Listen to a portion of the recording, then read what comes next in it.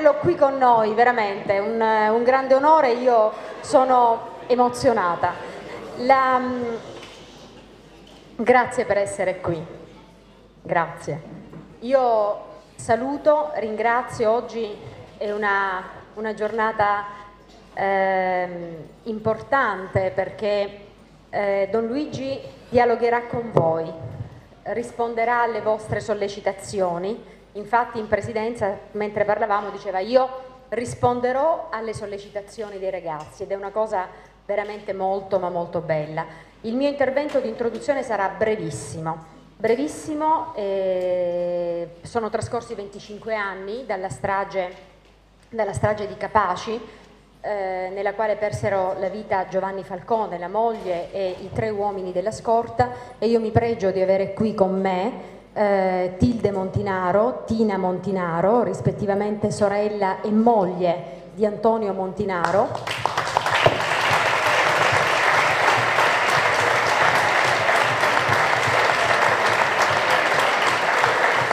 Grazie, grazie per essere, per essere qui, ho letto la lettera che Tina Montinaro ha scritto a suo marito e, e faccio i complimenti per, per le sue parole. Ma oggi è anche una giornata importante perché si conclude, si porta a compimento un percorso e un progetto che eh, si è realizzato in questa scuola. Eh, tre anni fa noi abbiamo fatto un percorso eh, con un progetto con i ragazzi, Costituzione, Legalità e Lotta alla Mafia, in cui i ragazzi si sono confrontati con relatori anche in confronti abbastanza serrati sui temi della lotta alla mafia, della Costituzione che eh, in questo percorso si è quasi umanizzata e eh, ha visto i ragazzi prendere eh, familiarità eh, con, con, proprio con questa Costituzione che è molto più attuale eh, di quello che magari può sembrare. Don Luigi dice la Costituzione è il primo testo antimafia. Oggi eh, da, questo, da, questo, percorso è, è, uscito, è, venuto fuori questo libro, è dedicato ad Angelica Pirtoli eh, e a tutte le vittime innocenti della, della mafia e oggi il ricavato dei diritti d'autore di questo libro sarà devoluto a Libera e sarà consegnato nelle mani di Don Luigi Ciotti, presidente di Libera. Io non voglio assolutamente dilungarmi, eh, volevo invitare qui Tina e Tilde Montinaro per un saluto veloce. Chi delle due si alza? Sali, venite tutte e due, anche tu Tina, dai.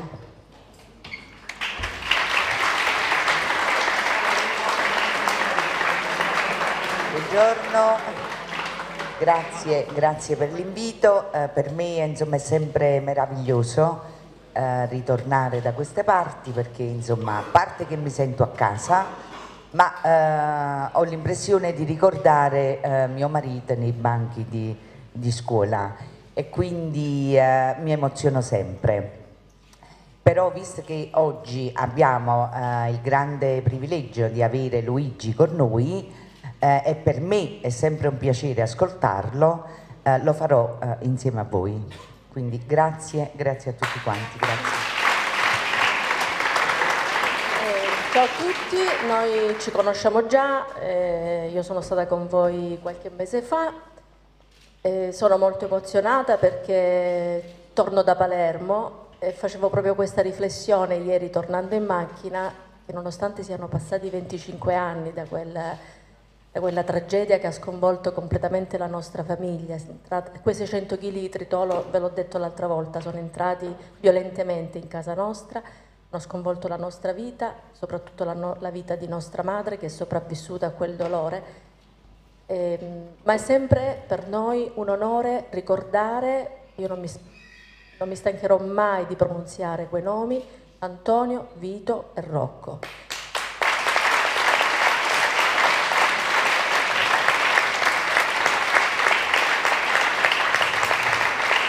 non solo i ragazzi della scorta, ma tre uomini che avevano fatto delle scelte precise, la cui sola straordinarietà era proprio l'abnegazione al loro dovere e io aggiungo sempre anche alla loro coscienza. E ieri ritornando da Palermo facevo questa riflessione, eh, l'ho vissuta in maniera più intensa rispetto agli altri anni. E ho detto ai miei figli, sarà stato perché dopo 25 anni ti rendi conto che l'età e gli anni passano anche per te, ma soprattutto perché guardavo Gaetano, mio nipote, e in lui vedevo la stessa età in cui è stato ucciso Antonio. Gaetano oggi ha 29 anni, Antonio è stato ucciso a 29 anni. Ricostruivo un po' l'immagine giovanile, brillante, frizzante che era Antonio in quegli anni e mi arrabbiamo ancora di più. Mi arrabbiamo ancora di più perché, ecco, Antonio, eh, qualcuno ha deciso per lui, qualcuno ha deciso di porre fine alla sua fine, alla sua vita e questo è il dramma, il nostro dramma. La mia mamma diceva sempre, di fronte a una morte naturale una madre si rassegna, ma di fronte alla morte di, decisa di un altro uomo non c'è rassegnazione per una madre. E credetemi ragazzi, non deve esserci nemmeno con, per noi, altrimenti veramente in questi anni non avremmo fatto nulla. Grazie, grazie Luigi. Grazie Tina, grazie Tilde, grazie a Tilde Montinaro e a Tina Montinaro. Io saluto l'assessore alla cultura, Deborah Fosetti, se vuoi fare un saluto velocissimo proprio, e Don Raffaele Bruno. Vuoi venire tu pure a dire no, no, niente, niente, proprio niente? Niente. Buongiorno. Io innanzitutto porto i saluti del sindaco della città di Maglia, il dottor Ernesto Toma, che oggi non ha potuto essere qui con noi per concomitanti impegni istituzionali. Un ringraziamento alla dirigente per aver organizzato questa bellissima giornata. Un ringraziamento a Don Luigi.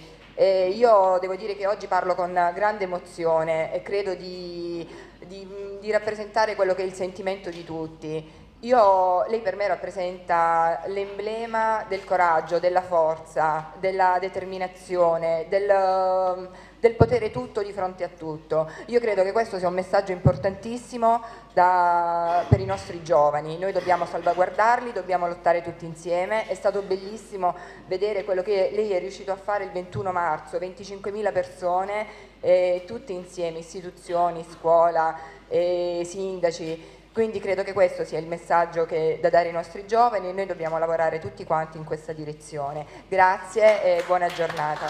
Grazie, grazie a Deborah Fusetti. Eh, io passo la parola a Rosario Tornesello e poi la, ai ragazzi, prego. C'è sempre questa bella facoltà che viene data in questa scuola. Non è un liceo, è un'università con tutte le facoltà che dispensate. Io non, non devo aggiungere vera, vera, non applaudite le battute stupide, vi prego. Eh, io non devo dire assolutamente nulla se non solo due parole, ma eh, giusto per raccordare rispetto a quello che è stato il valore del libro e il significato e l'impegno del libro. Il libro è dedicato ad Angelica Pirtoli e a tutti i bambini vittime di mafia, a tutti i bambini. Angelica, lei la conoscerà, era una bambina qua della zona di, di, di, di Parabita Matino, uccisa in un modo drammatico, due anni e mezzo. E, mh, mm, ci sono troppi bambini, diciamo, anche nella, nell'attualità, no? penso a Manchester. E mm, non devo farle nessuna domanda, soltanto un apprezzamento per le parole che lei ha detto l'altra sera, io l'ho ascoltata mentre stavo lavorando nel suo intervento che ha fatto da Palermo, soprattutto quando ha avuto il coraggio. Lei è emblema di impegno, eh, tenacia, costanza, ma soprattutto anche di trasparenza nel momento in cui ha parlato dell'antimafia di facciata e noi in proprio in questo periodo noi a Lecce viviamo un momento molto difficile da questo punto di vista, per cui i ragazzi hanno bisogno di molti punti di riferimento e che siano punti di riferimento certi, affidabili, da sperimentare soprattutto nel corso del tempo per potersi poi fidare di, di, questi. Il lavoro che è stato fatto nel libro è stato in realtà questo tipo di lavoro, cercare di riempire eh, di contenuti e non soltanto di leggi, di norme, di regolamenti, di anni di carcere, un impegno deve essere un impegno quotidiano e io l'ho ritrovato e idealmente il libro si ricollega al suo lavoro quando ha parlato della necessità di avere il coraggio di guardarsi nella propria coscienza. Forse non abbiamo mai lavorato così bene eh, come si fa in questi tempi quando si cerca di trovare una motivazione forte dentro di noi e non solo fuori di noi. Tempo fa è venuto qui il capo della polizia e lei lo incontrerà questo pomeriggio Gabrielli e ad una domanda dei ragazzi rispondeva proprio in questo modo dicendo che forse i problemi nascono proprio da questo, dal fatto che noi abbiamo riempito molte leggi fuori di noi e citando Kant non abbiamo mai messo una legge morale vera, autentica dentro di noi. Io credo che questo sia il suo insegnamento principale e in piccolo era la finalità del lavoro che poi è stato trasfuso all'interno del libro. Grazie ancora.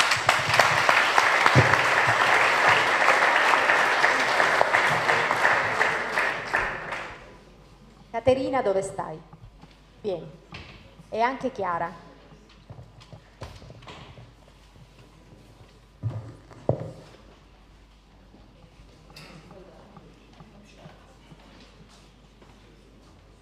Affermava Einstein, il mondo è quel disastro che vedete non tanto per i danni combinati dai delinquenti, ma per l'inerzia dei giusti che li stanno a guardare. Noi studenti del Da Vinci crediamo ancora nella verità e nell'attualità di quel messaggio. Crediamo che i giusti non debbano stare a guardare, che giustizia sia fare, operare, agire, non solo rispettare le regole. Grazie al suo esempio di sacerdote in prima linea, caro Don Luigi, grazie alla sua caparbietà e alla sua coerenza, abbiamo capito che giustizia è anche altro.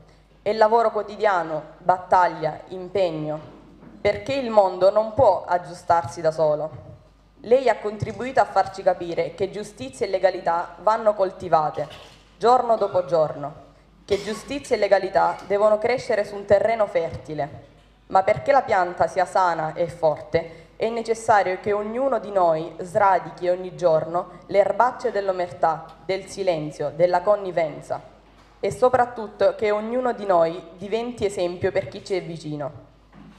La nostra comunità scolastica ha deciso di sostenere Libera con un piccolo ma concreto contributo. Questo assegno di 500 euro è frutto del ricavato dei diritti d'autore del testo Carte 48, Costituzione, Legalità, Lotta alla mafia e di una raccolta che noi studenti abbiamo realizzato.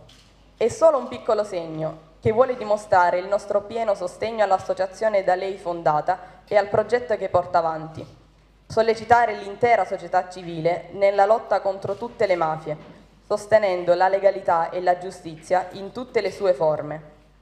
Per noi giovani lei è il simbolo della partecipazione, della lotta all'indifferenza, della fede che è possibilità di un futuro nuovo, diverso e migliore per noi cittadini di oggi e di domani. Ma lei ci insegna una cosa forse più importante, che quel futuro dipende solo da noi, perché il futuro è di chi lo fa, e noi lo stiamo facendo. Grazie Don Luigi.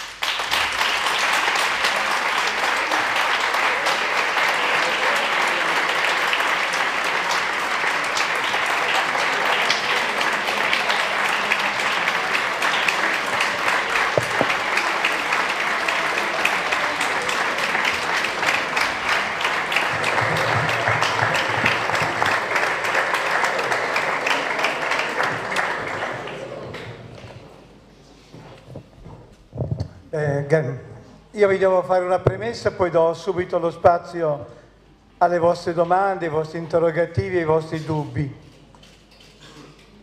E se sono capace, se sono in grado, perché non tutto uno sa nella vita, anzi, anzi, cerco di portare poi il mio piccolo contributo che si aggiunge al contributo che ho visto con tanti altri avete avuto modo di conoscere e di approfondire.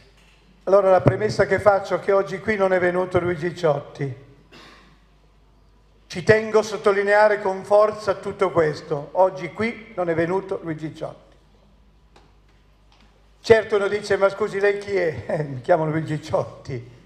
Però voi capite il senso con cui lo dico con grande sincerità. Io sono qui perché tanti, tanti altri stanno facendo la loro parte.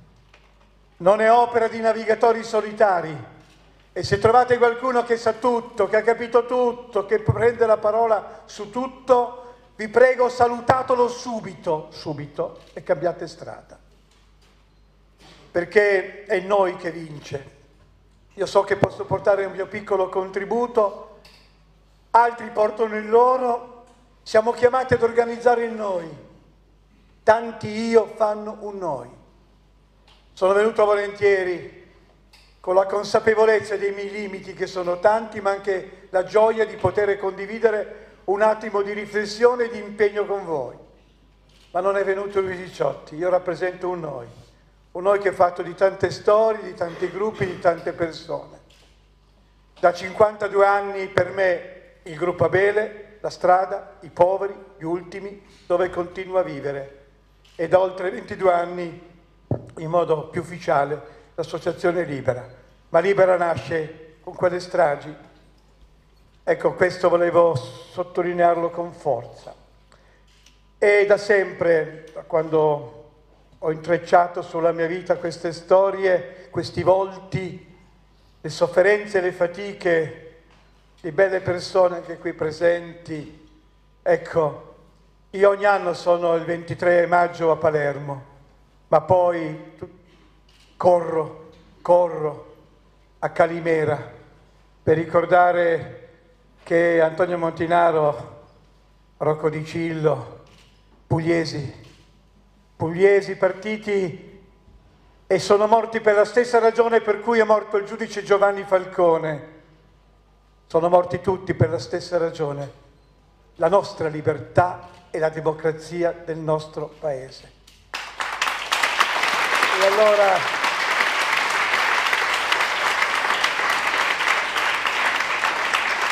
Io ogni, ogni, anno vengo a Calimera, vi confesso che prima Calimera me l'ha fatta conoscere Antonio Montinaro, io non la conoscevo.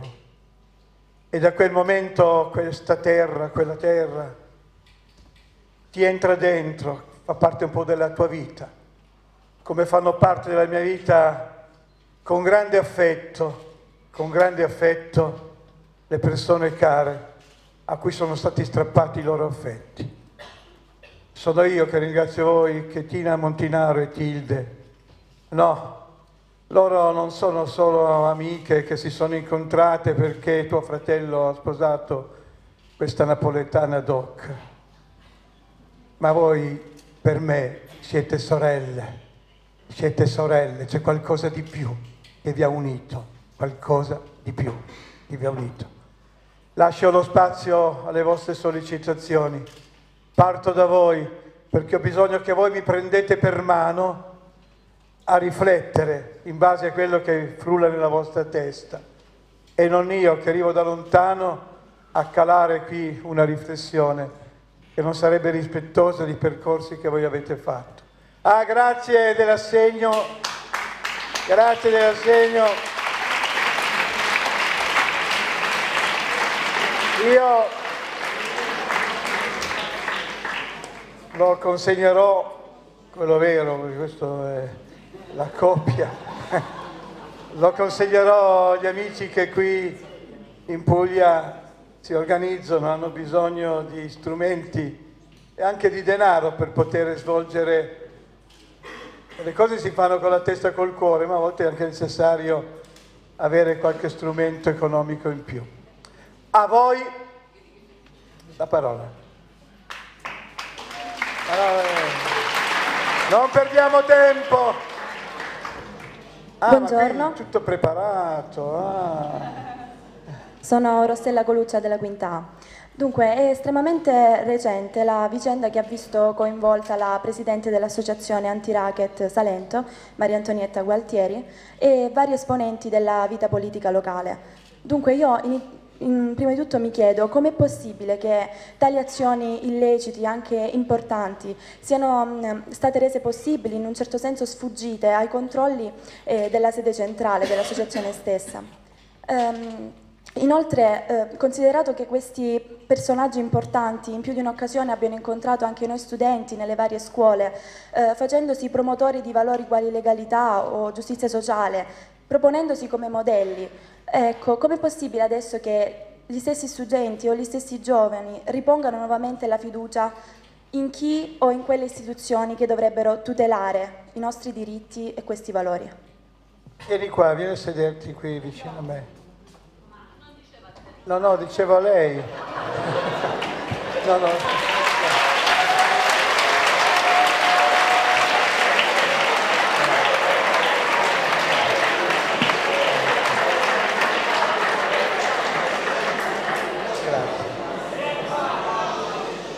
Raccoglierei subito una seconda domanda.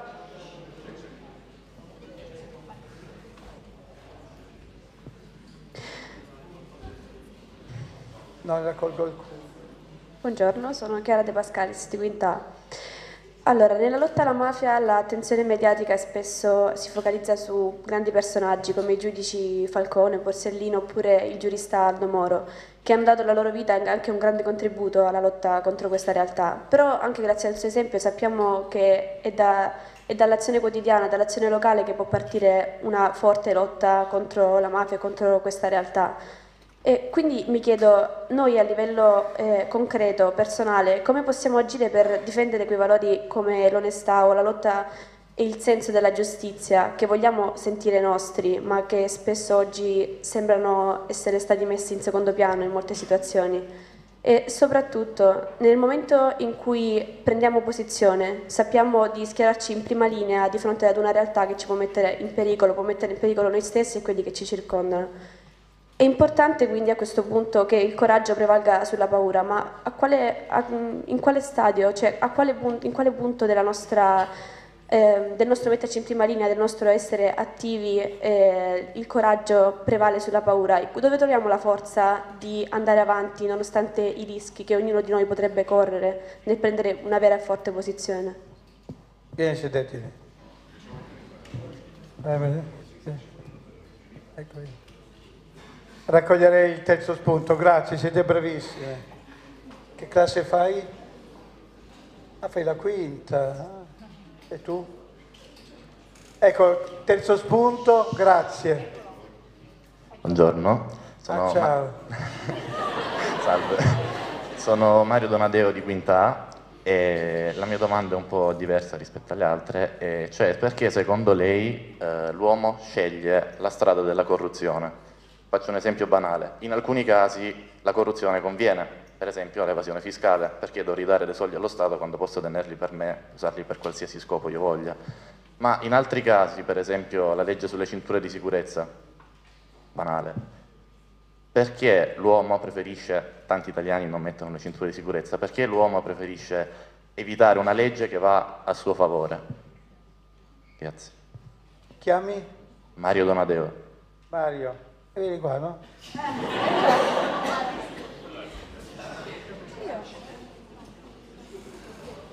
Questo non è? Rossella? Guardate, porto solo dei piccoli contributi, eh? Mi scusi?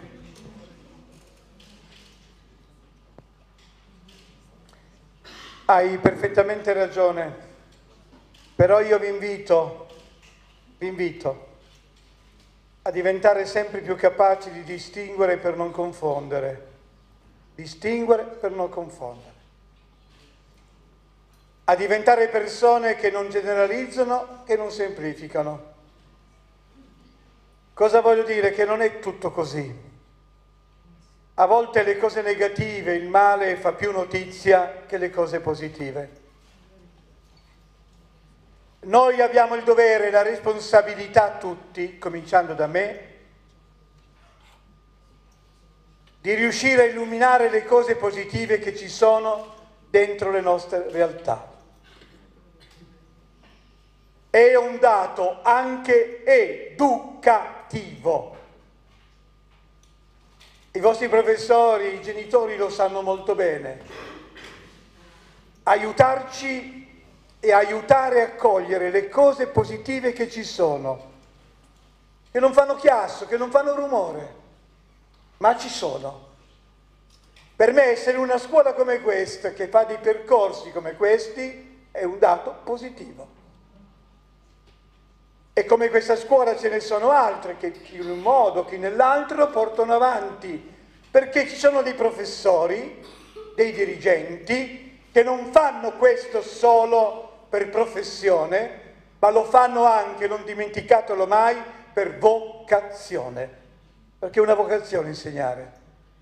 Ma non basta insegnare solo delle materie, ma qui c'è anche la volontà di fornire a voi degli strumenti di conoscenza, perché la conoscenza la via maestra del cambiamento. Conoscere per diventare persone più responsabili, perché se non conosci non riesce a distinguere, hai meno strumenti per poter discernere, per decidere cosa fare o non fare. La conoscenza, vi prego, è la via maestra del cambiamento. E nella conoscenza voi troverete le cose positive e troverete anche le cose negative. Le cose positive sono di più di quello che sembra, ma vengono meno illuminate, perché poi il rischio che fa più notizia le cose negative. So se vi rendo... Allora c'è sempre un distinguere per non confondere. Hai detto una cosa giusta, perché fa soffrire tutti noi, fa soffrire tutti noi quando c'è un tradimento, un tradimento. Perché antimafia è una parola che ci hanno rubato, come ci hanno rubato la parola legalità, come ci hanno rubato la parola noi. Ci sono ladri di parole.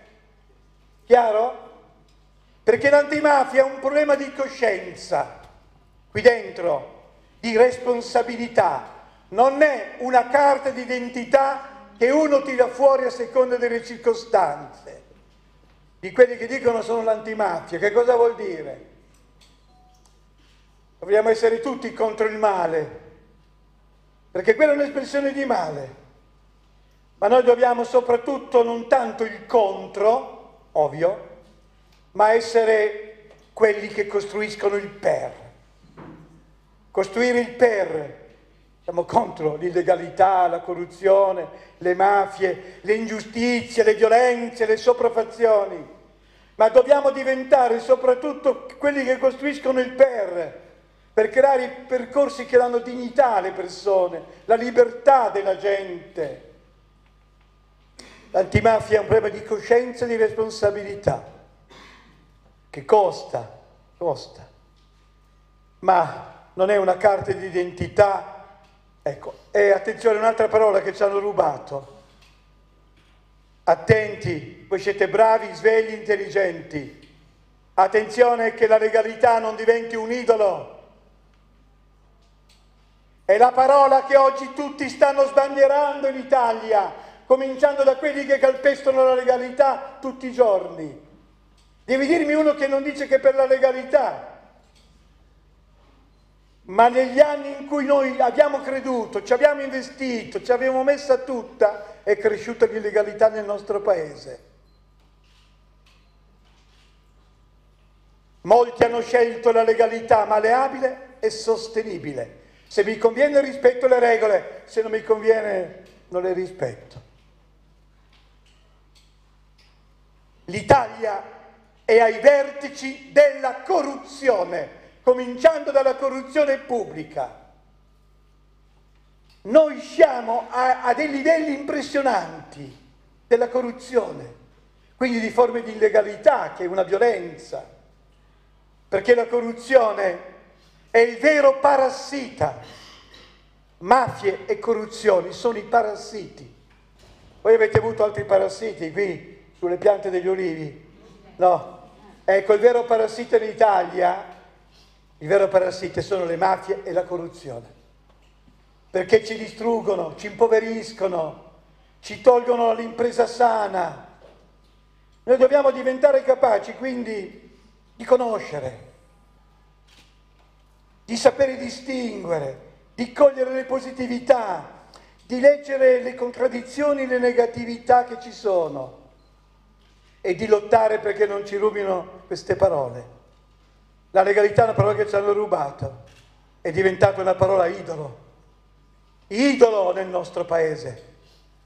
E c'è il rischio della retorica della legalità, ma la legalità, voi lo sapete, non è neppure un valore.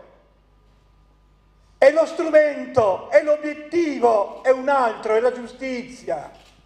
La legalità è importante, è fondamentale per lo sviluppo sociale e per la crescita umana, ma è il mezzo, è lo strumento. L'obiettivo resta la giustizia. Molte volte c'è una confusione tra legalità e giustizia. Noi, voi, che siete svegli, attenti, intelligenti, Dobbiamo avere lucido questo sguardo e questa conoscenza. La legalità rischia di diventare, lo dico con rispetto, una parola educativa, molto celebrata nelle scuole, ma noi siamo qui insieme perché diventi sempre più una parola di vita, perché deve essere parola di vita la legalità. E aveva ragione Giovanni Falcone quando disse che la lotta alla mafia è una battaglia di legalità e di civiltà.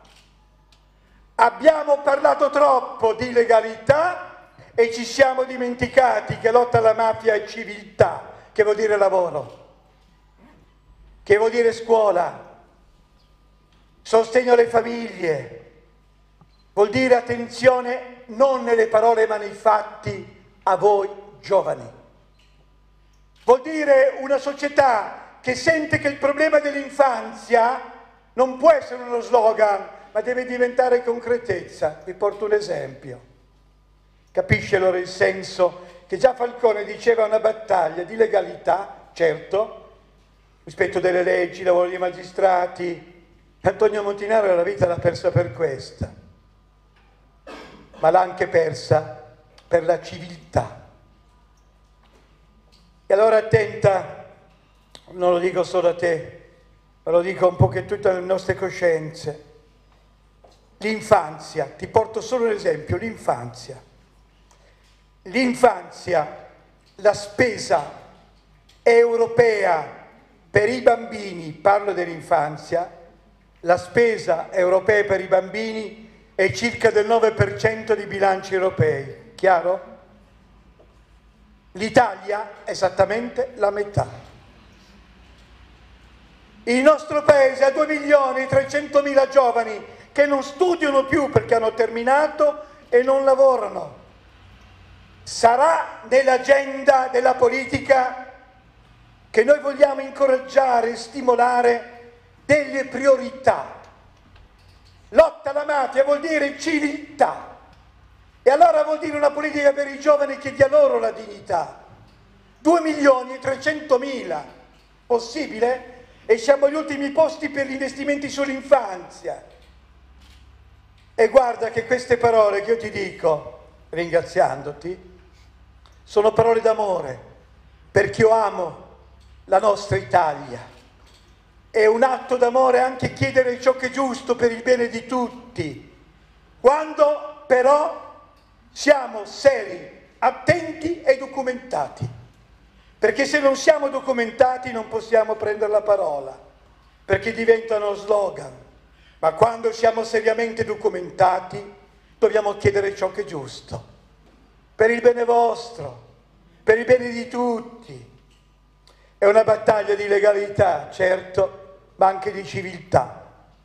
È venuta meno la civiltà in questi anni, perché avendo milioni di persone senza lavoro, in cerca di lavoro.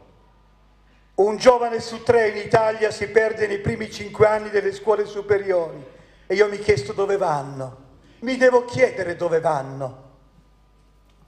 Me lo devo chiedere. Questa è una responsabilità che sento nella mia coscienza, perché solo così possiamo uscirne fuori.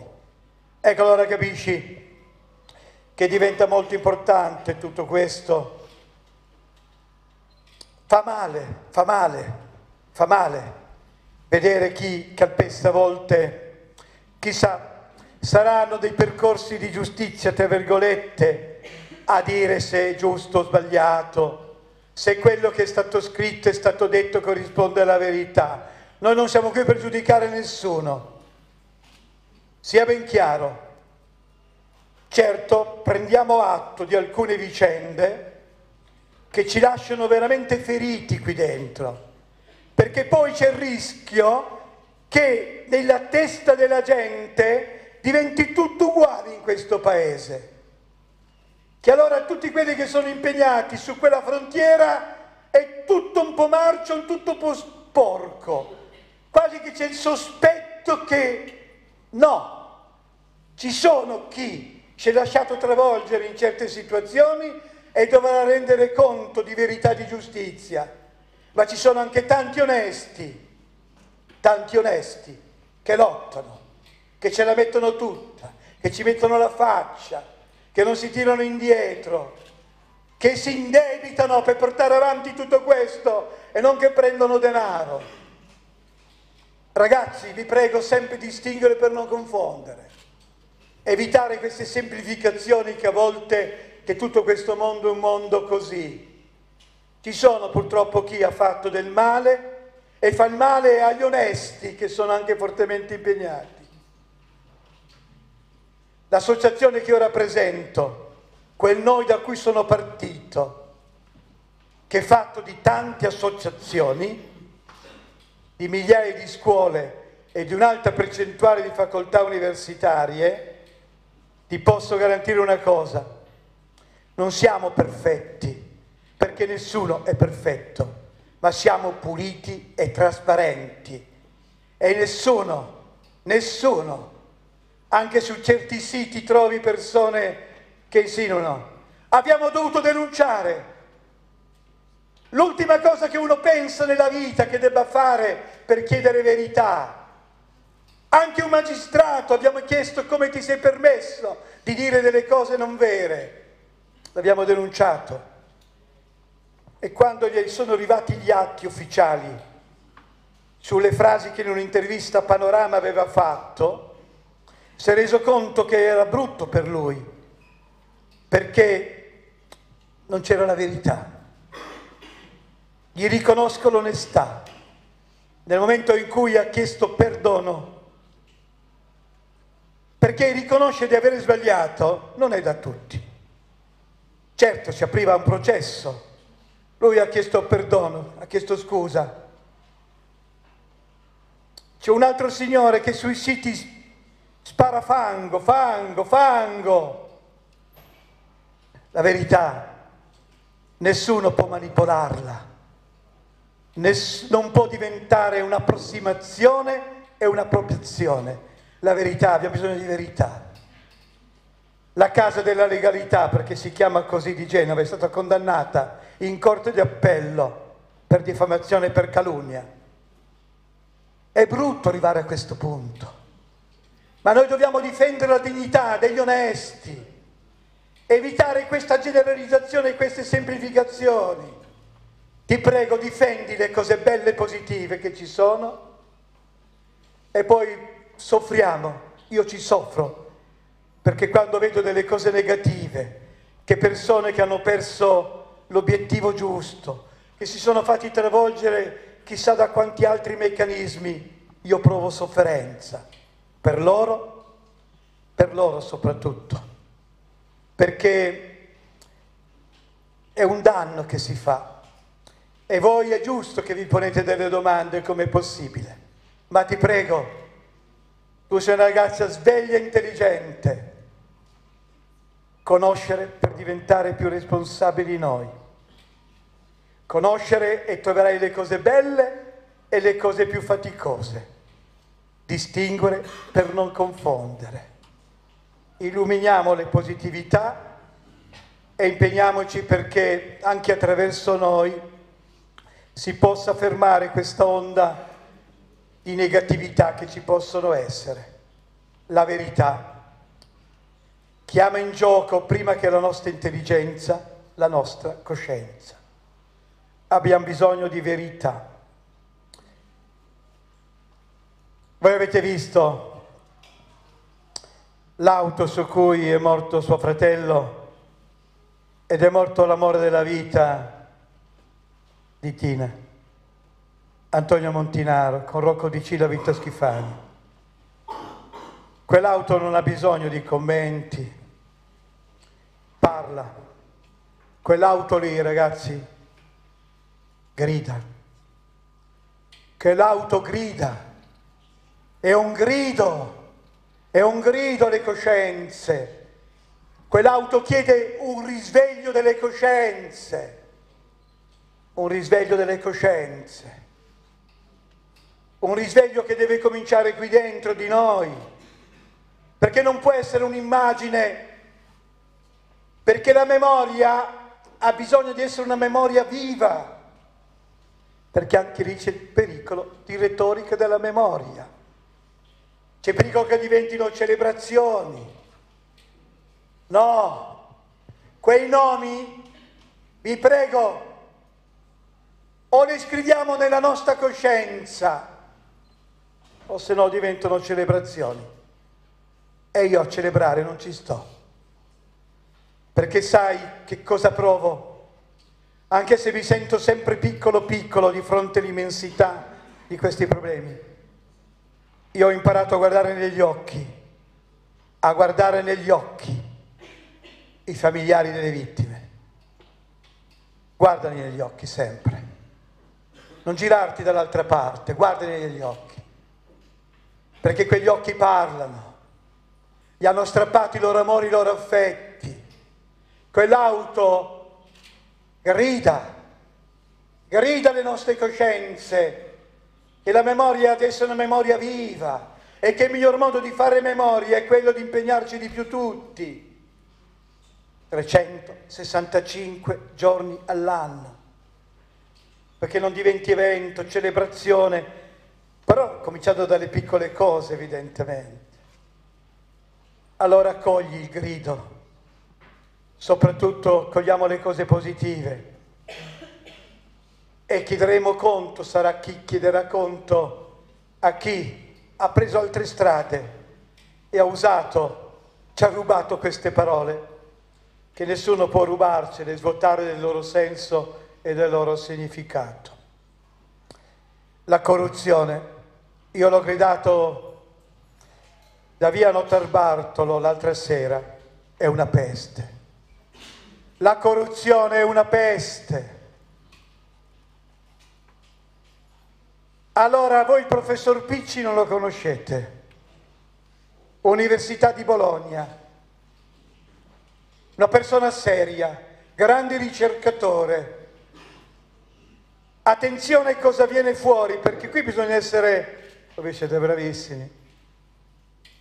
Professor Picci è un grande ricercatore, sai quelle persone che impegnano la loro intelligenza, la loro passione e ci consegnano e ci aiutano a formarci, a prepararci. L'Italia sulla corruzione è a livello del Montenegro, del Sudafrica. Siamo dei livelli impressionanti indietro, negativi. Il professor Picci, che è una persona seria, fa una proiezione seria e dice che se la percezione della corruzione negli italiani fosse almeno come la Germania, che non è ai primi posti, ma almeno come la Germania, domani mattina nelle casse del nostro paese entrerebbero minimo, minimo 558 miliardi di euro e non ci sono i soldi per lottare contro la povertà. 4 milioni e 600 mila persone in Italia vivono la povertà assoluta, un milione e centomila bambini in Italia. Allora la percezione della corruzione. Allora avete fatto bene e deve crescere ancora più forte dentro di noi l'attenzione a questi problemi. La corruzione è una peste che ci impoverisce tutti. E soprattutto il vero problema resta la, resta la mafiosità, i linguaggi, i comportamenti, la mafiosità. In questo senso credo quindi si debba lavorare e costruire. Dov'è Chiara? Mi fa estremamente piacere, Chiara, essere nella città di un grande statista, nato qui, Aldo Moro. Quelle figure che, scusate, un po' ci mancano oggi, e non vuole neppure essere questa una semplificazione, però chi ama la politica come l'ha definita un grande papa di nome Paolo VI, che definì la politica la più alta e la più esigente delle forme di carità. La politica è un'espressione per il servizio al bene comune, al bene di tutti. Paolo VI era amico di Aldo Moro e ci sarà un gesto di Papa Francesco e un gesto di Paolo VI uguale, avvenuto a distanza di anni. Sai perché? Quando io sono andato la prima volta da Papa Francesco, gli ho portato un regalo. Tu cosa avresti portato al Papa in regalo? Non è semplice, eh? Prova a pensarci, eh? I nonni italiani, eh? Il papà partiti dal Piemonte italiano, arrivati in Argentina, poi lui diventa papa, io dico adesso avevo l'appuntamento da lui, gli porto un bel regalo. Tu cosa avresti portato al Papa?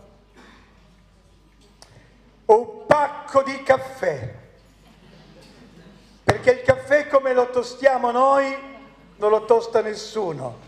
E non dimenticate che l'Italia è il più grande produttore di caffè, non avendo manco un chicco, perché noi siamo i più grandi produttori delle macchine di caffè, primi al mondo. A Torino c'è un piccolo bar in via Petromicca, che è nel cuore della città, dove entrano al massimo sette persone a prendere il caffè. Che caffè! Passo dal mio amico, Francesco era da pochi mesi che era Papa. Passo dal mio amico al bar, dico devo andare dal Papa, questo mi guarda e dice ma questo qui, gli voglio portare un pacco del tuo caffè. Io arrivo da Papa Francesco, poi c'era il profumo, mi fa un sorriso grande così e gli consegno il pacco di caffè. Poi abbiamo lavorato, ti spiego perché, perché si lega a questa storia. Cinque giorni dopo sono tornato a Torino, passo dal mio amico al bar che mi dice il Papa mi ha scritto, mi ha scritto, ha preso a mano, non è che ha mandato, ha scritto queste testuali parole. Il caro Don Luigi mi ha portato in dono un pacco del vostro caffè. Io me lo sono fatto, molto buono, grazie Papa Francesco. I segni sono importanti. A volte non abbiamo bisogno di grandi parole, ma di gesti. Può essere una stretta di mano, uno sguardo, un momento di incoraggiamento fatto di parole essenziali. La seconda volta che ho visto Papa Francesco ho portato due pacchi di caffè. Sono quasi il fornitore ufficiale del caffè alla Santa Sede. Ma attenzione a cosa succede. Io in quella circostanza abbiamo fatto delle cose insieme, ne faremo un'altra il 15 di giugno, ma attenzione, io ho chiesto al Papa, ma te la senti di incontrare centinaia di familiari delle vittime innocenti che gli hanno assassi- assassinato le persone care. Papa Francesco non mi ha fatto neanche finire, non mi ha fatto mi ha detto vengo, vengo.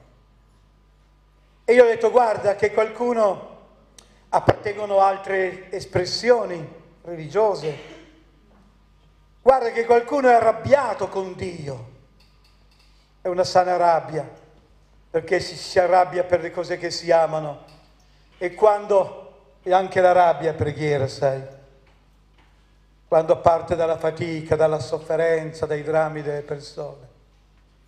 E Francesco mi ha detto che capiva. E poi l'umiltà, l'umiltà.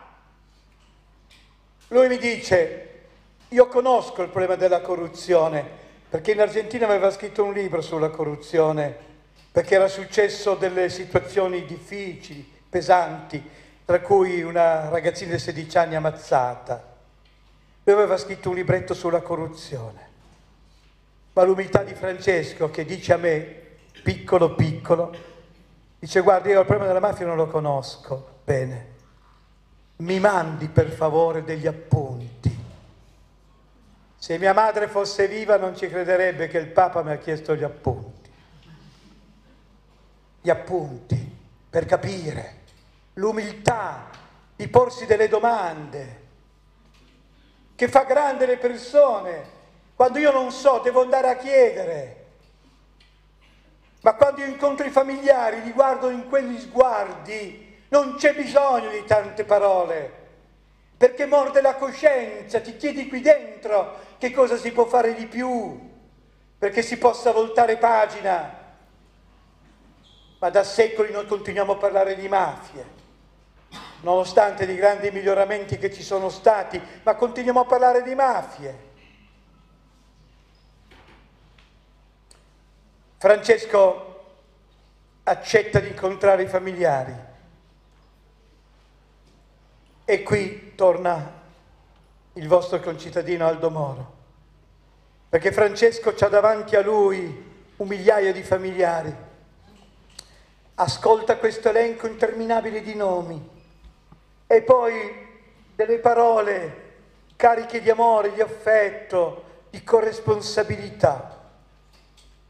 E poi compie un gesto scomodo, scomodo, perché a un certo punto dice adesso voglio rivolgermi ai grandi assenti, agli uomini e alle donne delle mafie, convertitevi e cambiate. e farà lo stesso gesto di Paolo VI.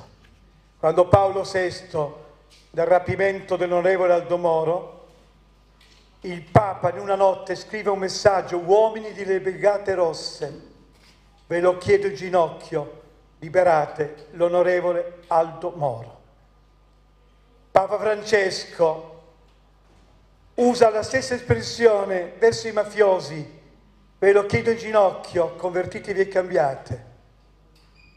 Ma due mesi dopo va nella piana di Siberi e in modo categorico dice chi adora il male non così, è scomunicato, è fuori dalla Chiesa, nessuno si nasconda dietro Dio.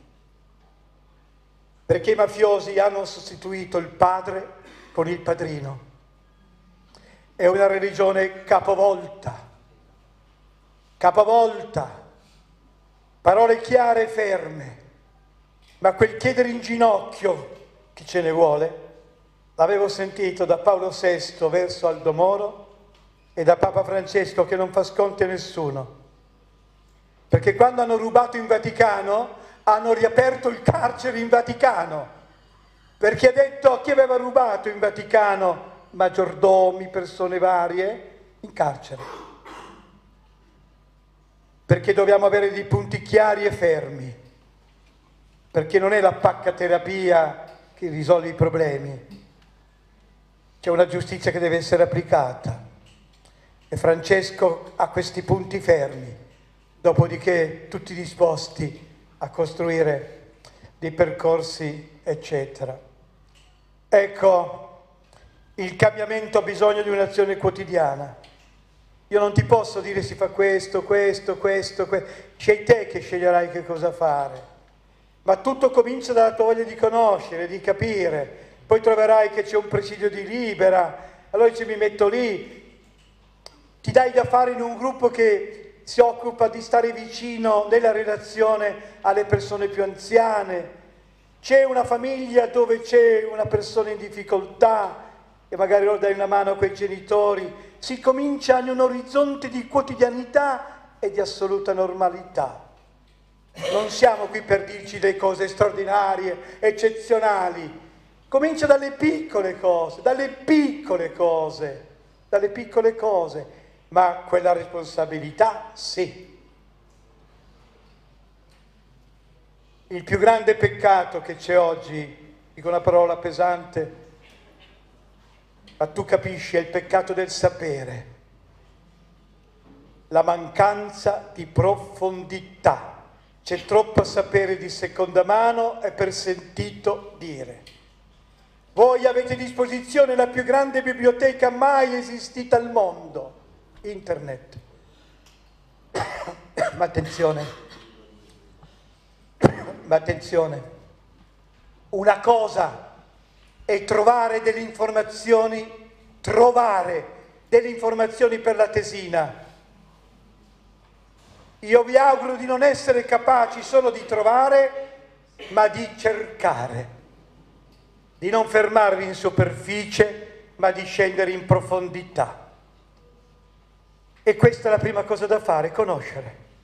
Poi sceglierai tu come impegnare, cosa fare, userai la tua intelligenza, userai la tua coscienza. Il mio augurio è che tu possa essere un cittadino, ma non a intermittenza, un cittadino responsabile. E so che tu sei una persona responsabile. Tre parole ti affido da tradurre dalla carta in carne. La prima ci vuole continuità, ci vuole continuità. La seconda parola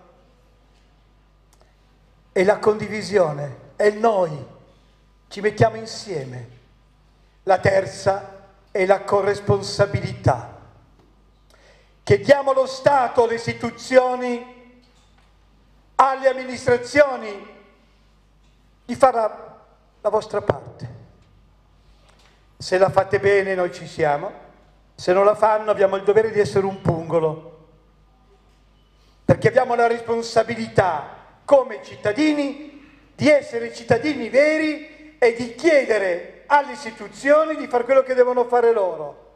Disposti a collaborare se si fanno le cose giuste, ma anche disposti a essere un pungolo per chiedere quando non si fanno le cose giuste o non vengono fatte. È un problema di democrazia, perché la democrazia ci offre due grandi doni, la giustizia e la dignità umana, ma la democrazia non starà mai in piedi se non c'è una terza gamba che si chiama responsabilità. Ma attenta,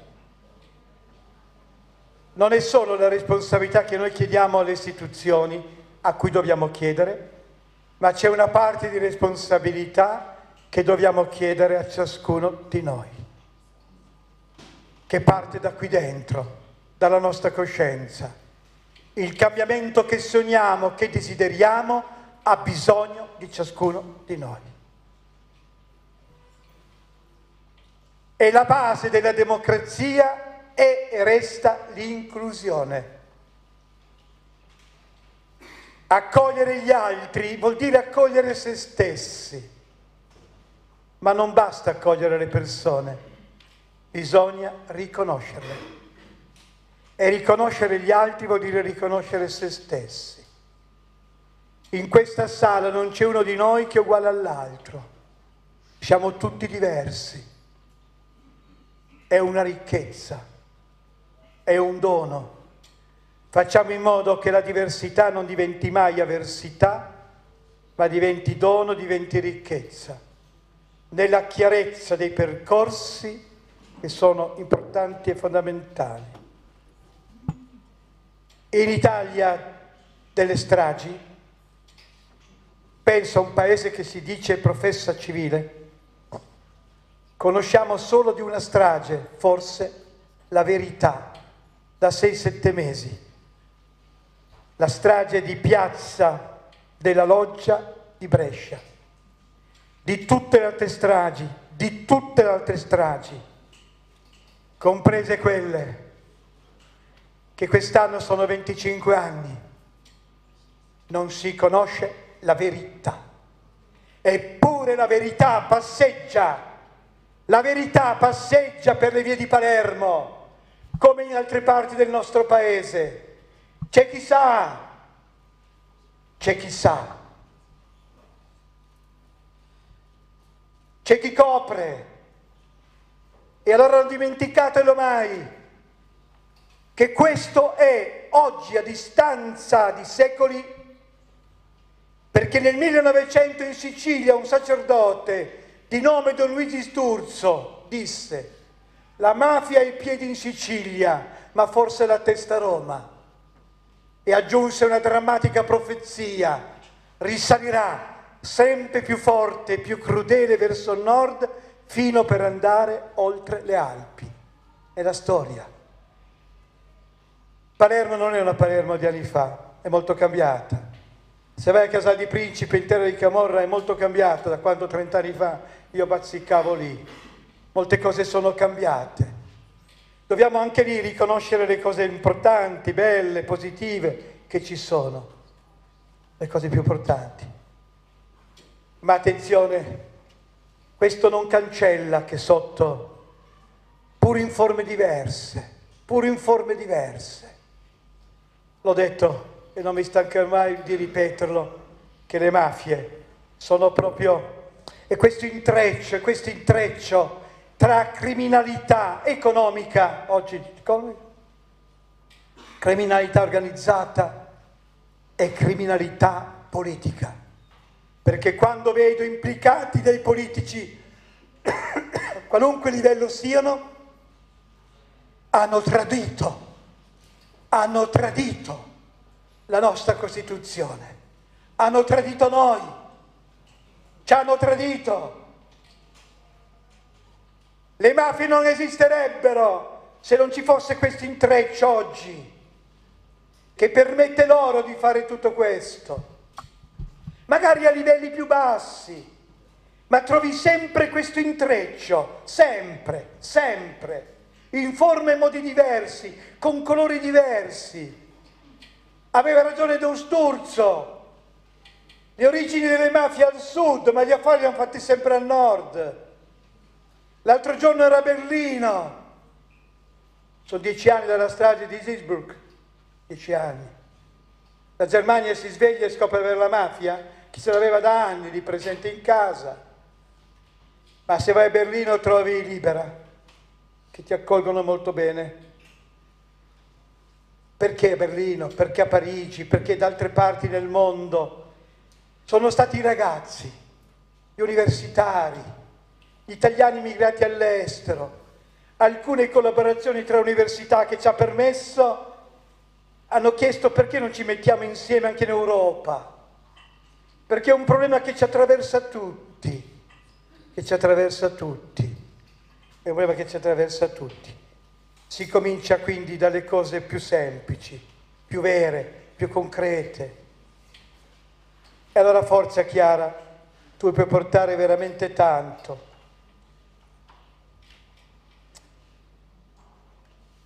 Aveva ragione un magistrato di nome Paolo Borsellino. Falcone aveva detto questa frase che però era vita che la lotta era una battaglia di legalità e di civiltà, ma Borsellino, io in queste giornate l'ho ripetuto, facendo emergere le cose belle, ma anche la verità sì. Nel momento di grande euforia, maxi processo, centinaia di persone alla sbarra, Borsellino, ci voleva coraggio, usò questa espressione perniciose illusioni. Perniciose illusioni. Perché dice vero che c'è un calo di morti ammazzati, cioè è vero, ma se non c'è la continuità di un investimento, di attenzione, non usciremo fuori. L'aveva detto in quegli anni, siamo nell'87, 88 verranno uccisi nel 1992. Paolo Borsellino usò questa espressione, perniciose illusioni. Noi ce lo diciamo qui per assumerci di più la nostra parte di responsabilità. Tocca a me, tocca a voi prendere coscienza di tutto questo, perché hai ragione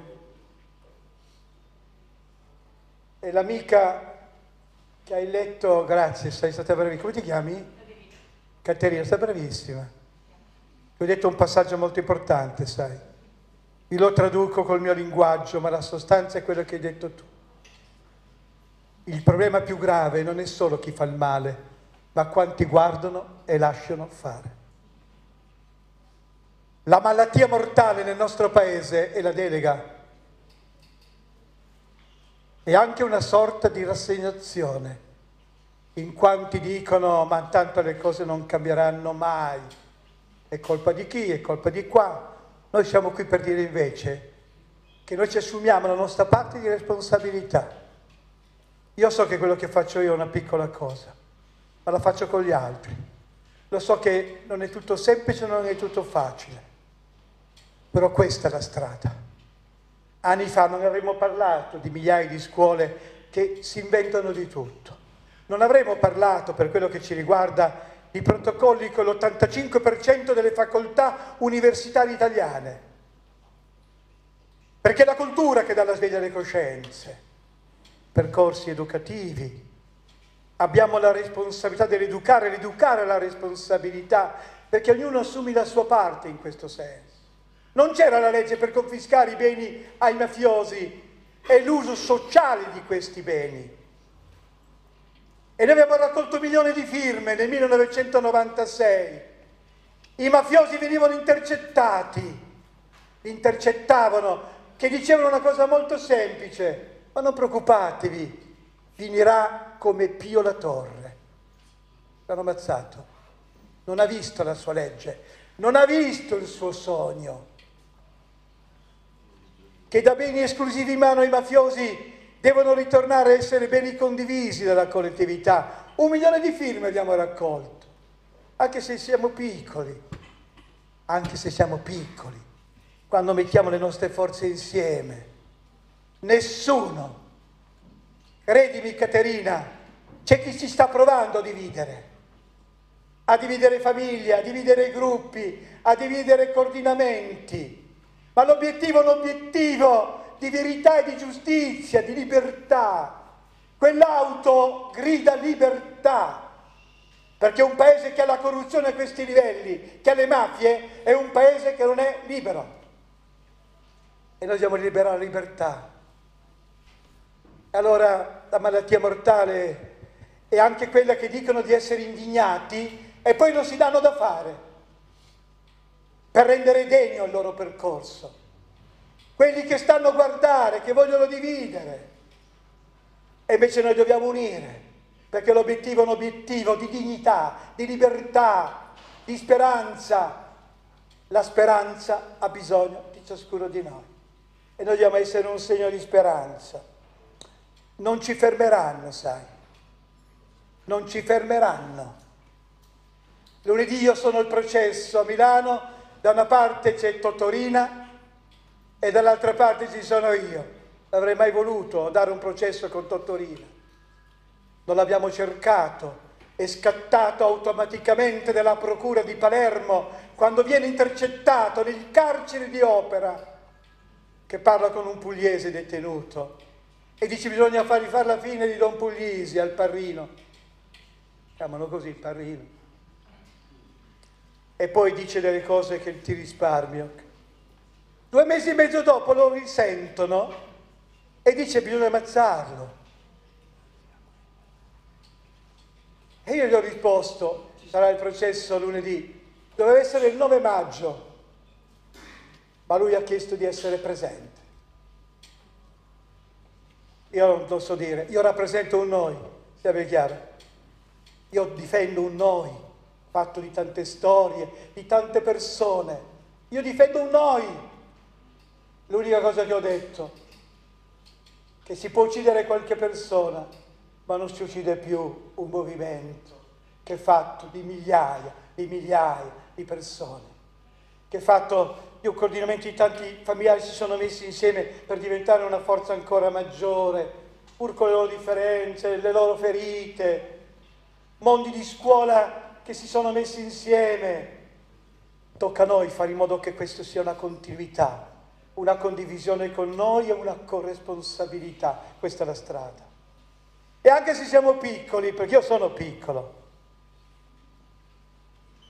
perché mi sento piccolo, rispetto all'immensità di tutto questo. Ma se noi uniamo le forze diventiamo una forza, di cui oggi c'è veramente tanto e tanto bisogno. Guarda, io auguro sempre a tutti il coraggio di avere più coraggio. Non devi avere paura, non devi temere, non sei sola. Non temere. Non è che viene chiesto a te di fare chissà che cosa. A te viene chiesto di impegnarti, di riflettere, di portare il tuo contributo, di metterti insieme ad altri amici per dare una mano alle persone più in difficoltà, dare una mano ai giovani a prendere coscienza di questi problemi. Sceglierai magari una facoltà universitaria che ti permetta di fare delle cose in un certo modo. Non temere, ti prego. Non temere. La tua domanda, Mario?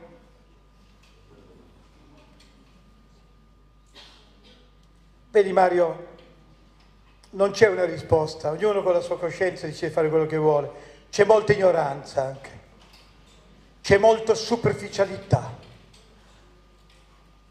c'è molto io, molto egoismo, molto individualismo. È veramente la caduta dell'etica. L'etica chiama in gioco la nostra coscienza, i nostri linguaggi, i nostri comportamenti. L'etica chiama in gioco noi innanzitutto, capisci cosa voglio dire? Tu sceglierai nella tua coscienza cosa fare, ma se tu sei una persona come sei, che conosce, hai approfondito, fatto la tua parte in un certo modo, sono convinto, sono veramente convinto che tu farai la tua parte, non ti tirerai dietro. Allora ragazzi, anche voi abbiate il coraggio del morso del più, il morso del più, non accontentarci di quello che stiamo facendo. E non dimenticatevi di un grande vescovo sepolto a qualche chilometro da qui, nel suo paese natale, che si è aperto per lui un processo che lo porterà agli altari, Don Tonino Bello. Non dimenticatelo mai, Don Tonino Bello morendo mi ha lasciato in dono la sua stola sacerdotale, il massimo. Ma Torino Bello diceva una cosa meravigliosa. Diceva, non mi interessa sapere chi sia Dio, mi basta sapere da che parte sta. Dio sta da quella parte, sta dalla parte del bene, dalla parte di chi viene schiacciato, umiliato. Sta da quella parte Dio. Nessuno si nasconde dietro Dio. L'ultimissima cosa, io ho cominciato a 17 anni questa storia. Mi permetto di dirlo a voi perché anch'io ero un ragazzo come voi, con le mie passioni, la mia fantasia e i miei limiti. Tu quanti ne hai? 18 anni, sei già più tu? 19 tu? 18. Io ho 17 anni ho cominciato, c'è qualche 17 anni qui dentro? Che bello. Perché vi dico questo? Perché non bisogna aspettare di essere chissà chi nella vita. Vi prego, io non sono un personaggio. Io non sono un personaggio, mi chiamo Luigi, con tutti i miei limiti e le mie fragilità ma anche con la gioia di spendere un po' della mia vita per dare vita. A 17 anni io vado a scuola a prendere un diploma in telefonia e telegrafia,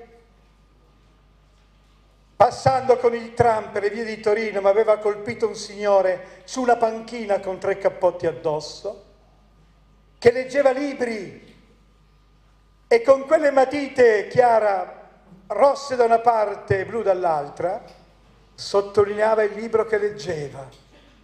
Li chiamavano i barboni, sono il popolo della strada, i senza fissa dimora di oggi. Io andavo a scuola, passa col tram era lì, torni a casa era lì, la mattina vai a scuola di nuovo è lì, sempre solo. Io a 17 anni ero molto imbranato, tu dici anche oggi, sì. Però non avevo Mi ero chiesto come mai lui era sempre lì. E allora sono sceso dal tram e ho detto scusi signore, vuole che le vada a prendere un caffè? Era sempre solo. Mi sono chiesto come mai era sempre solo. E lui non mi risponde. E tu vai in difficoltà, perché viene la, meno la relazione. Allora ho pensato, penso che ero proprio un po' ingenuo, scusi, vuole che le vada a prendere un tè? E lui non mi ha risposto. Allora io ho pensato, nella mia ingenuità, è sordo. Ma quando le macchine all'incrocio frenavano di colpo, lui alzava la sua testa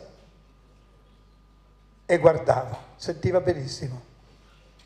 Testardo lui, testardo io, ed auguro anche a voi una sana testardaggine, se l'obiettivo è un obiettivo giusto, positivo, di non mollare alla prima difficoltà, di non girare l'ostacolo.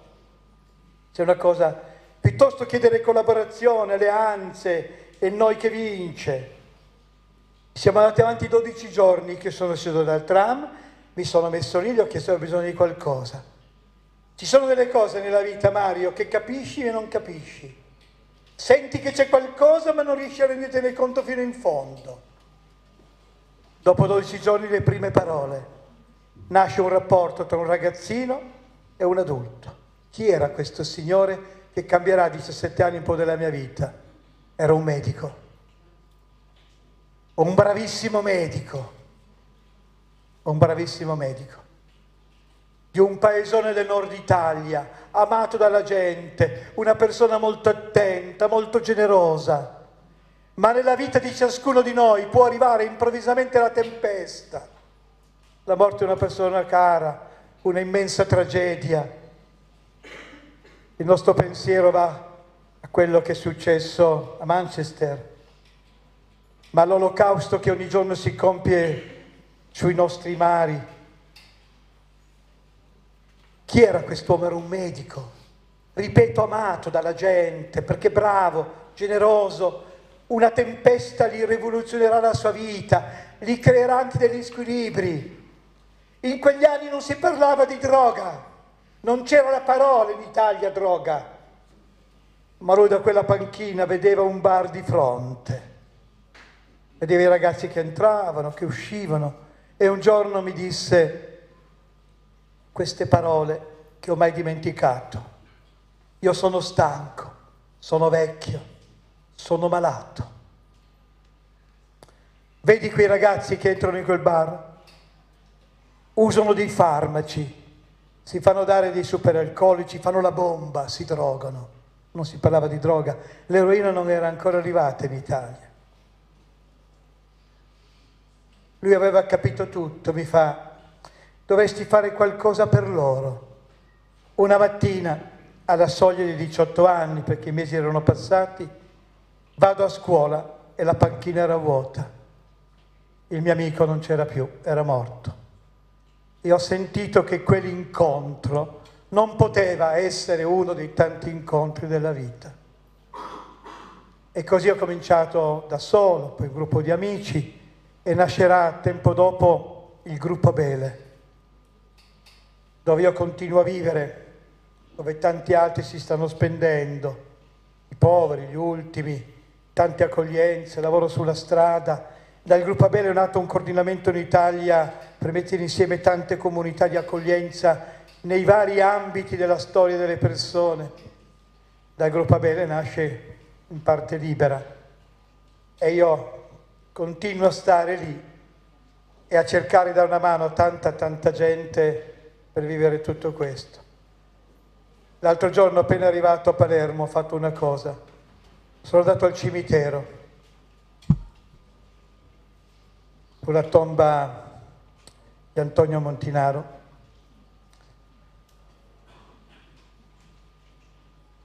E sono andato sulla tomba di Francesca Morvillo. E lì vicino c'è Vito Schifani perché a volte si rischia che siano i grandi nomi che entrano nella nostra testa. Vi prego. Sono tanti, tanti e il dolore è uguale per tutti. è uguale per tutti. Scriveteli nella vostra coscienza. Vi aspetto tutti quest'anno a Foggia, perché Foggia quest'anno sarà la città centrale della giornata della memoria e dell'impegno, perché le mafie della Capitanata, le mafie del Gargano stanno distruggendo la dignità e la libertà di tante persone. Dopo Casarano, dopo Bari, torniamo in Puglia. L'anno scorso eravamo nell'Ocride, ma eravamo in contemporanea in 4.000 posti in Italia.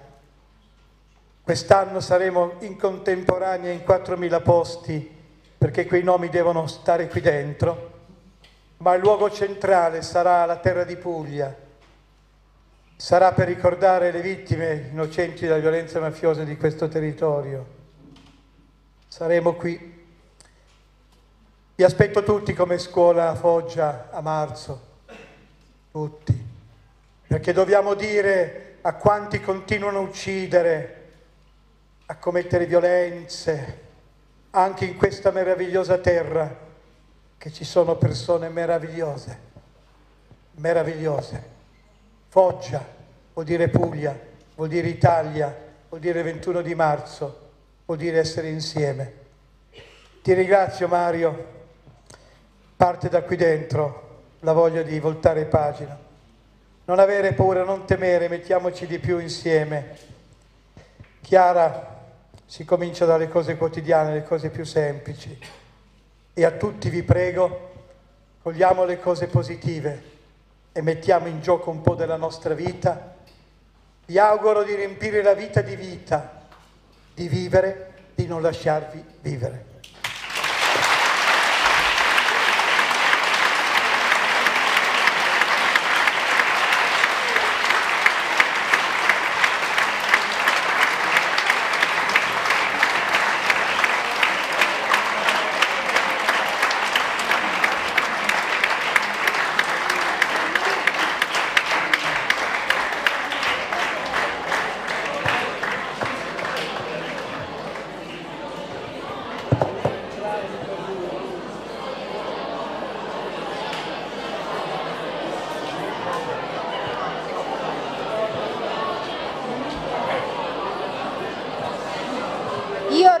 ringrazio Don Luigi con la promessa che andremo, che andremo tutti a Foggia.